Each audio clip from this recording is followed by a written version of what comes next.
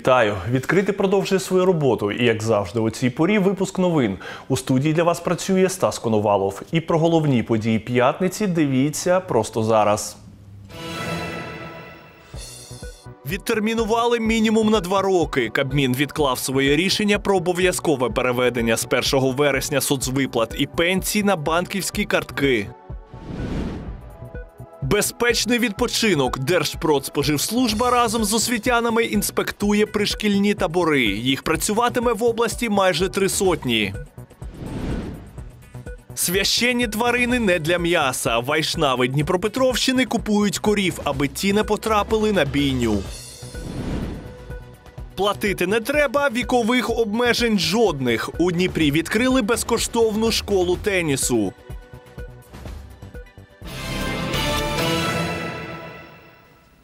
Про це та інше більш детально. Чергові наслідки негоди у Дніпрі на проспекті Яворницького одночасно в кількох місцях провалився асфальт. Ями утворилися ще вночі поблизу будинку номер 33, що біля станції метро Музейна. Їх комунальники обнесли огорожами. У такому стані ця ділянка в середмісті Дніпра і дотепер. Нові зливові каналізації бути за тиждень через двомісячну норму дощу чимало вулиць Дніпра залила вода. Тож звітують чиновники, вже почали будувати нові дощопримачі там, де їх раніше не було. Перша на черзі вулиця Мандриківська. На 200-метровій ділянці зроблять сім каналізаційних колодязів та понад 20 дощоприймачів. Після будівництва системи тут упорядкують територію, укладуть новий асфальт і змонтують бордюри. Вартість одного колектора майже 14 мільйонів гривень. Тут ґрунтові води е, достатньо високо, і е, будівельникам буде непросто будувати в таких умовах. Але я думаю, що в них все вдасться. Е, Крім того, тут на вулиці Мандриківській, як ви вже чули, е, взагалі проблема з цим колектором ще з радянських часів. Тобто е, з- зараз ця проблема буде вирішена шляхом будівництва колектора. Начиная с прошлого года мы начали э, активную работу в этом направлении. Э, Мы заменили ливневой коллектор по улице э, Крестьянский спуск, по улице Янтарной, на жилмассиве Парус в районе улицы Мониторной и э, на улице Богомаза.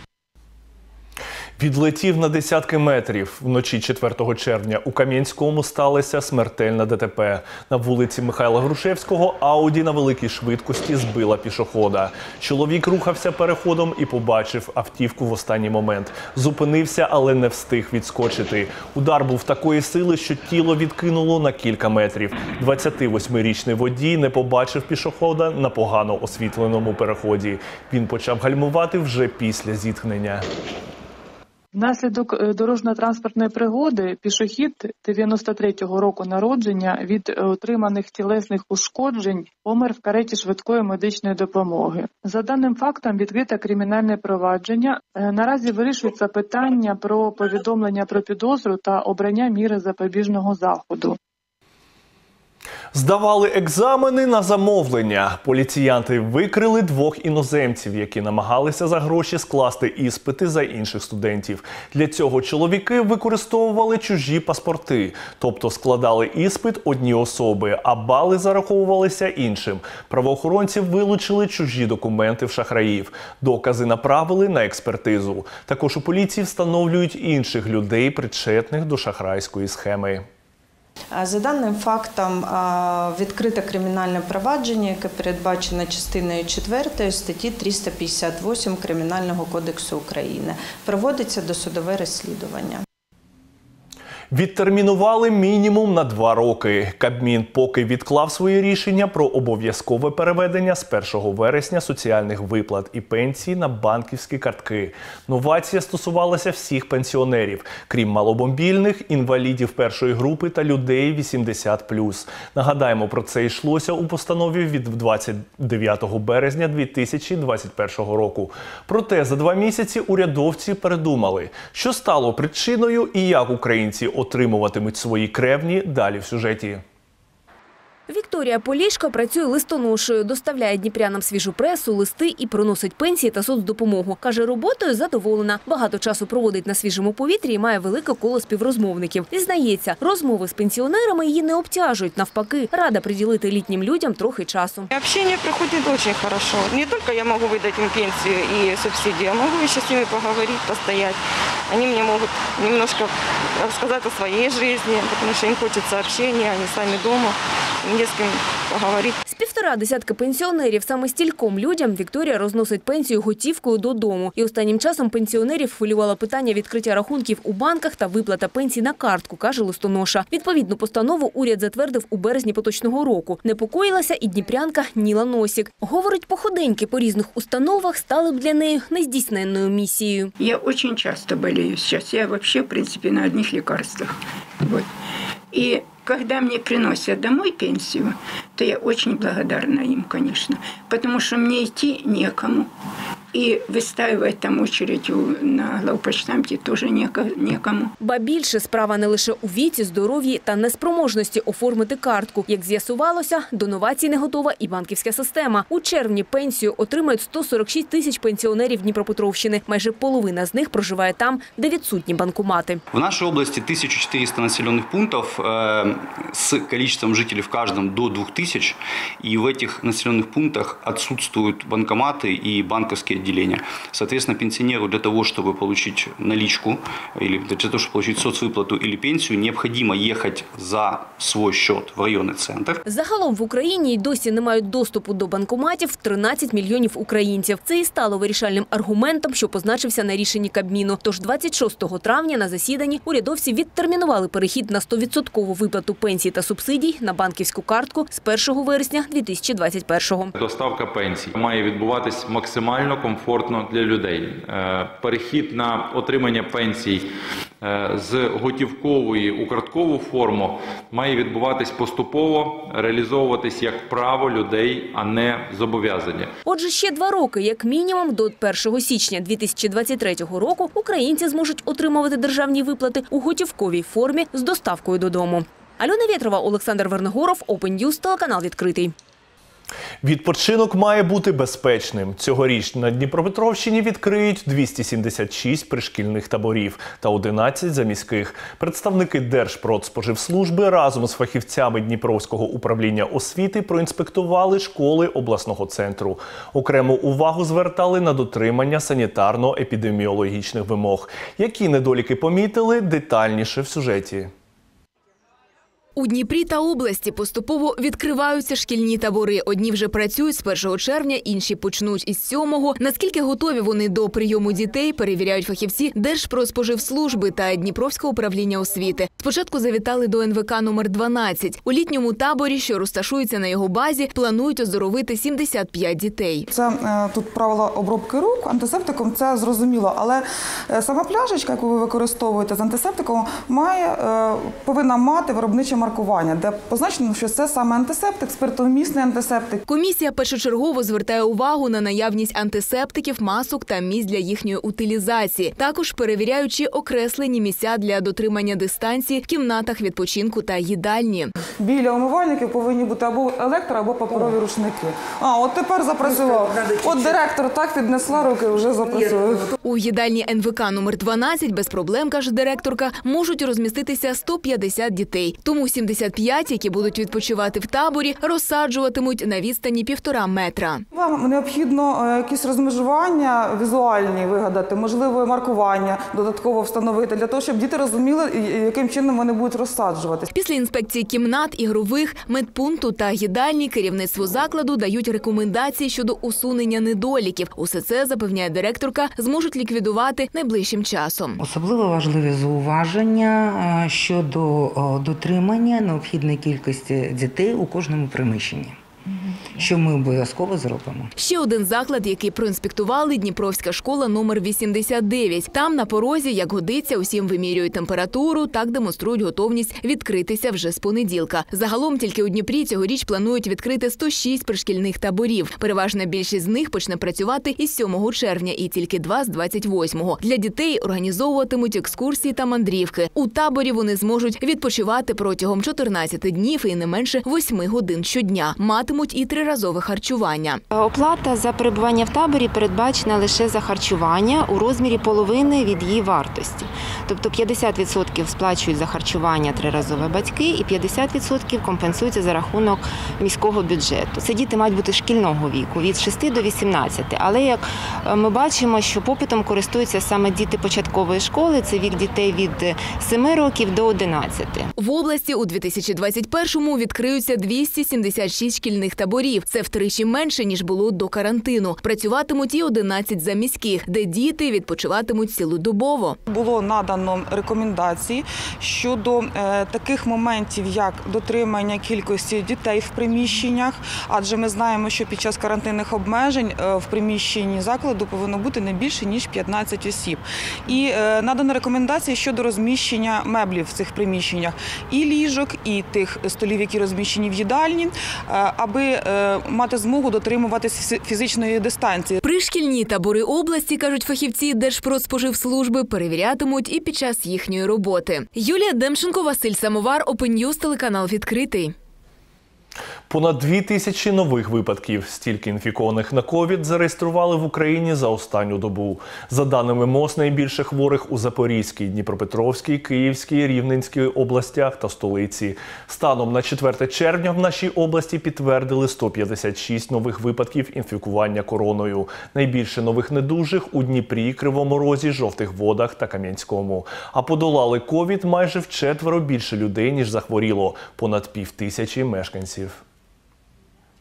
А от щепили від ковіду вже майже 2 мільярди людей по всьому світі. За даними американського інформаційного агентства Bloomberg, у середньому щодня вводять 35,5 мільйонів доз різних препаратів. А долучитися до вакцинації долучилися до вакцинації 176 країн світу. В Україні ж кількість щеплених перевалила за мільйон. На Дніпропетровщині імунізували вже майже 105 тисяч людей. У Дніпрі провели в останню путь екс-головного архітектора міста Ігоря Богданова. Він помер від коронавірусу вночі 3 червня на 67-му році життя. Прощалися із діячем біля будинку архітектора. Туди прийшли родичі, друзі та колеги померлого. Ігор Богданов заслужений архітектор України. З 1998 по 2004 рік обіймав посаду головного архітектора Дніпра та з десяток років був головним архітектором області. Він спроєктував цирк на Січеславській набережній, композицію Дзвони Чорнобиля. Роз- Розробив і новий генплан Дніпра, над яким він працював спільно з директором проєктного інституту Гіпроград Юрієм Білоко- Білоконем. Он был крайне доброжелательным ко всем людям. У него не было врагов. Высочайшее профессиональное качество, зная проблемы Строительства во многих, и организацию, кстати говоря, и организация этого процесса. Наша дружба строилась на профессионализме, который, собственно, который, собственно, нас и свел по жизни. А как по жизни, то это прекрасный человек, прекрасный педагог. Такое знаменательное э, сооружение, как Крутогорный, знаменитые, знам- знаменитая визитная карточка башни. Это тот след, который, в котором он участвовал.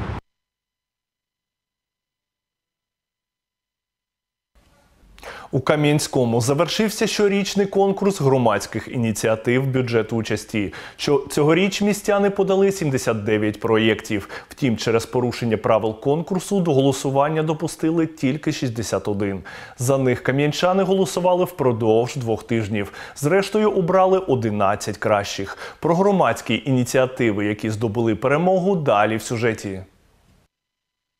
Серед тих, кому пощастило здобути перемогу у 2021-му – Центральна бібліотека імені Тараса Шевченка. Її проєкти в категоріях екологія, IT та культура, а також інфраструктура посіли друге місце. Автори зазначають, бюджет участі допоможе зробити книжки доступнішими для містян. Наше желание было такое, чтобы э, упростить доступ к нашим библиотекам и людям, э, колясочникам, людям с инвалидностью э, доступ был открыт. Ми закупимо е, сканер для книжок. Для сканування газети ми придбаємо фотоапарат. Другим етапом закупимо обладнання для зб- для зберігання цієї інформації, і в подальшому ми будемо роз- розміщувати її на нашому сайті. А От у ліцеї номер 13 незабаром з'явиться новий спортивний майданчик. Нині ж дітлахи займаються на полі, яке за півстоліття існування вже зносилося. У ліцеї кажуть, серед учнів чимало переможців та призерів змагань різного рівня. А з оновленням матеріально-технічної бази розповідає вчитель фізкультури Олег Телятник. Юні спортсмени досягнуть ще більших результатів. Ми плануємо побудувати багатофункціональний майданчик, який буде включати декілька видів спорту.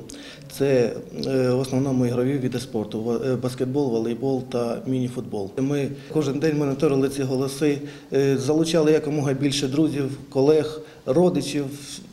Тому дуже дуже дуже хотіли перемогти. Переможців обирали в чотирьох категоріях: екологія, IT та культура, просвіта, охорона здоров'я, фізкультура та спорт, інфраструктура. На втілення у життя 11 кращих проєктів з міського бюджету Кам'янського витратять майже 2,7 мільйона гривень, кажуть у департаменті економічного розвитку. Ми задоволені, що проекти в цьому році дуже цікаві. Вони е, не тільки такі формальні придбання чогось, так вони вийшли за ці межі. Це і проведення заходів, е, екологічні проблеми. Сьогодні ми готуємо проект рішення міської ради, в якому кошти будуть передані головним розпорядникам коштів і вже будуть розпочати конкурсні процедури, після яких буде реалізація проєктів. Цьогоріч у конкурсі взяли участь 16 тисяч кам'янчан, а майже 27 тисяч людей віддали свої голоси на користь тієї чи іншої ініціативи. Мальвіна Карапиш, Роман Харченко, Open News, телеканал відкритий.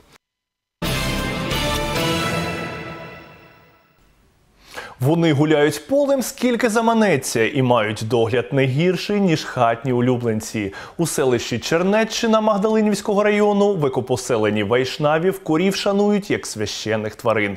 Рятувати їх від забою віросповідувачі одного з напрямів індуїзму почали 10 років тому. Тепер мають сотню тварин. Частину поселили у Миколаївській області, іншу на Дніпропетровщині. Юлія Демченко побувала в екопоселенні Вайшнавів та дізналася, як живуть там священні тварини. Серед густої молодої трави на великому пасовищі стадо корів. Побачивши людей, тварини підходять знайомитися, обнюхують штатив та камеру оператора. Корови звикли. Люди приносять їм смаколики, тому не бояться гостей. Усіх курів рятували від забою вайшнави, віросповідувачі одного з напрямків індуїзму. М'яса вони не їдять взагалі. Інша справа молочні продукти. А корів годувальниць вважають священними, тому вже майже 10 років викуповують у власників, аби ці не здавали їх на бійню. Мають послідовників по усій країні. Эта вот коровка, она первая коровка в нашем стаді. Продають господарі почасти стареньку худобу і таку, що вже не сили доглядати. Зараз у притулку майже сотня корів. Частина з них мешкає у притулку в Миколаївській області. Інша насолоджується життям на полях Дніпропетровщини. І кожна корова на особливому рахунку. Мы давно думали о том, что нужно как-то позаботиться о коровах. Это вот в нашем учении говорится. И потом одни люди из села говорят, все, мы не можем больше содержать. И она была настолько больная, вот видите, даже у нее уши были выедены от авитаминоза, болели. И мы ее взяли, отходили, выкормили. И вот от нее пошла многие коровы, которые в нашем стаде уже родились. Тепер у тварини райське життя гуляють на пасовищах скільки заманеться, а підгодовують їх смаколиками, зібраними на екологічно чистих полях. Это органическая редиска, ей мы кормим коров. Сейчас идет сбор урожая редиски. В екопоселенні Вайшнавів, кажуть, спочатку займалися землеробством, вдосконалювали духовні практики. Однак згодом зрозуміли, господарство без корови не самодостатнє. Когда приезжал к нам один из духовных учителей, Бхакти Вигьяна Госвами, его имя, он подошел к лидеру нашего проекта и сказал, вот все у тебя хорошо, но у тебя нет коровы. А в древности у, в доме духовного учителя всегда была корова. И вот с этого момента, в принципе, у нас и появились коровы. З коровами, кажуть, порається лише одна людина. Автоматику для догляду взагалі не використовують. За таку турботу тварини щедро віддячують молоком. Того, що дають 10 корів, вистачає щонайменше для щоденного раціону 70 людей. Тому, коли треба викупити чергову підопічну, вайшнави викладають за неї середню ринкову вартість. Це зараз майже 20 тисяч гривень. Некоторые продают как молочную корову э, дороже, а некоторые приезжают и шантажируют. Вы же не хотите, чтобы мы отдали мяснику эту корову, поэтому платите больше денег. За екологічно чистим молоком, що дають щасливі корови, приїжджали до вайшнавів навіть підприємці, але його не продають. кажуть, використовують молоко тільки для власних потреб. До певних релігійних свят з нього готують понад тисячу різновидів смаколиків, але головною цілющою стравою вважають масло гі. Это квинтэссенция молочных продуктов, топленое масло. Оно может храниться годами и столетиями. Аюрведа, древняя наука о здоровье, она говорит, что топленое масло, когда мы готовим, ну, правильно готовим, правильно употребляем пищу в нужных количествах, оно растворяет холестериновые бляшки. Аби люди зрозуміли, що тримати корову економічно вигідно, ініціатори екопроєкту зараз пропонують селянам взаємодію. Їм готові віддавати корів на утримання, а потім гарантовано викуповувати в них молоко. Співпрацювати хочуть, зокрема, з мешканцями кількох навколишніх сіл Магдалинівського району. Таким чином переконані, і корови будуть завжди влаштовані, і селяни з грошима. А шанувальники натуральних продуктів матимуть справжнє корисне молоко. Юлія Демченко, Роман Івашинов, Open телеканал відкритий.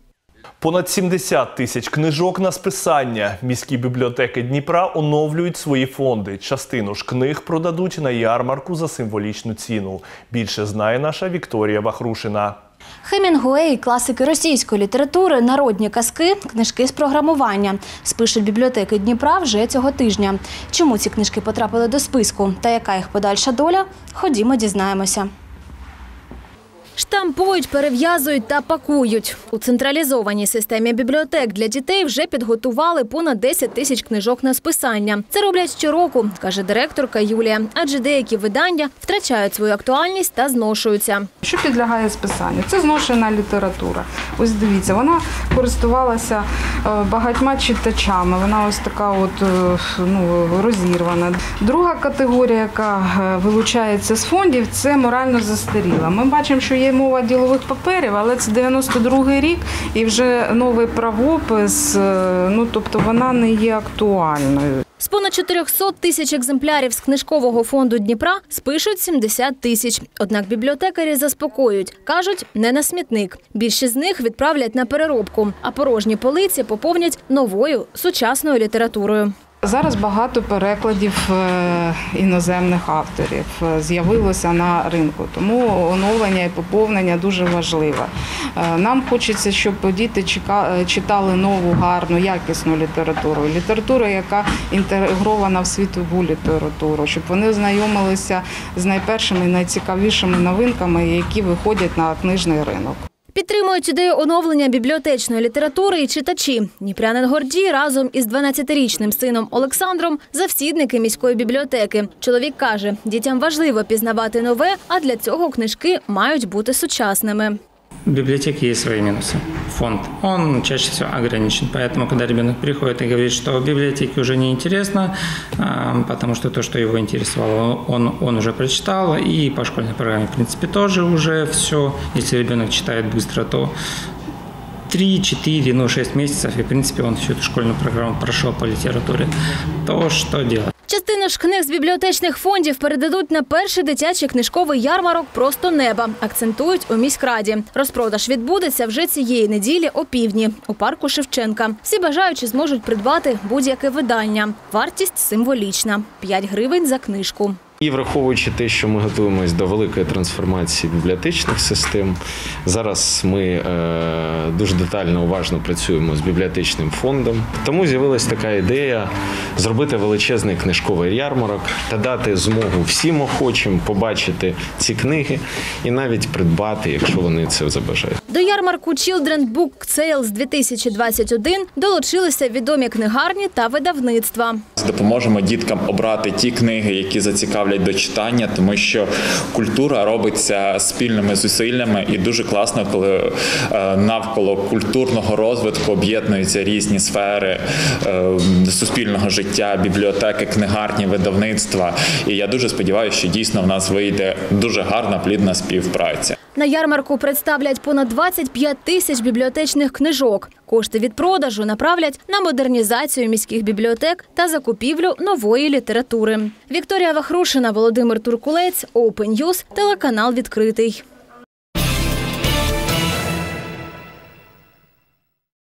У Дніпрі відкрили безкоштовну школу тенісу. Вона для дітей і дорослих. Вікових обмежень жодних. За заняття платити не потрібно, а весь необхідний інвентар, м'ячі та ракетки надає спортшкола. Як навчають на тенісному корті, дізнавався наш В'ячеслав Куліш. Ці хлопчаки та дівчата тільки но навчаються тримати тенісну ракетку і бити по м'ячу. П'ятирічний Михайло ділиться, йому до вподоби грати тут зі своїми однолітками Мне нравится большой теннис тем, что можно тут бегать, э, прыгать, соревноваться. А шестирічна Ліза мріє навчитися грати в теніс так само професійно, як і її старший брат Владислав. Мне нравится, ну, там, захлёст, ну, высокие поднимания колен. Ну, и еще прыгать на скакалке. Дітлахам допомагає опановувати основи гри тренер Олег Дарко. Каже, спочатку юних тенісистів навчають спритності та координації. За малышами интересно наблюдать, интересно вести занятия. Естественно, первые действия – это то, что они делают, обучаются ловкости, координации, скорости, держать ракетку, ловить мяч, набивать мяч, бросать мяч. Ну, все сопутствующие упражнения для того, чтобы в дальнейшем потом уже учиться играть в теннис. На сусідньому корті тренуються доросліші тенісисти. Ось так б'є по м'ячу 11-річна Вероніка Волкова. Вона вже 5 років займається цим видом спорту і хоче бути схожою на українську зірку тенісу Еліну Світоліну. Мне нравится дух турнира. Сам теннис мне очень нравится. Я считаю, что выиграет тот, кто играет на один удар больше, чем свой соперник. А це на корті 14-річна Дар'я Бабіченко, чемпіонка і призерка багатьох всеукраїнських турнірів. Дівчина зі спортивної тенісної династії. А її життя це тренування, змагання і переїзди. Режим – это рутина. Ам, Это почти не, не минуты свободного времени. Это сложно, но ты привыкаешь, и если тебе это нравится, то ты это, от этого кайфуешь. Спортшколу створили кілька тренерів, кажуть у Федерації тенісу Дніпропетровської області, бо прагнуть, аби рівень дніпровських спортсменів став вищим. Мы работаем достаточно давно, там у каждого уже э, опыт работы там больше 20 лет. Э, Просто там, как бы последние там полгода решили объединиться. Мы э, начинаем как бы отбирать и набирать детей от 4 лет. Ну, есть в практике, конечно, и 3,5. Нужно смотреть по ребенку, потому что все индивидуально.